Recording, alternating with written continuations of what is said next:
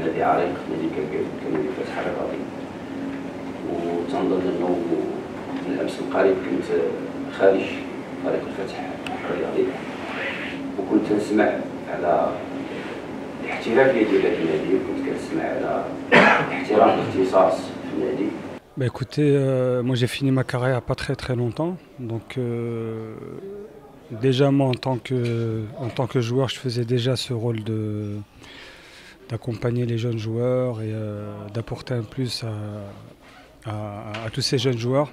Et là je suis, suis dans cette continuité là.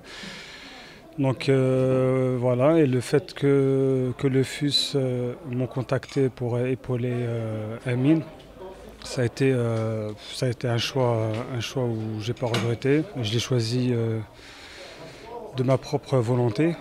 Et je pense que ce choix, c'est une bonne chose, parce que je voulais pas, pas envie d'être directement coach. C'est tout un processus.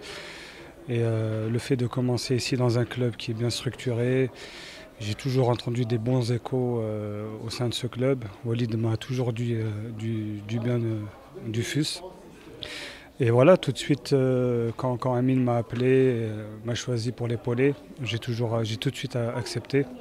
Donc je le remercie. Je remercie le coach, je remercie le club, la, présidente, qui m'a permis de, revenir déjà dans mon pays, dans mon pays natal, pour pouvoir exercer ce que j'aime bien et d'apporter mon expérience pour, pour le club et pour, pour les jeunes joueurs.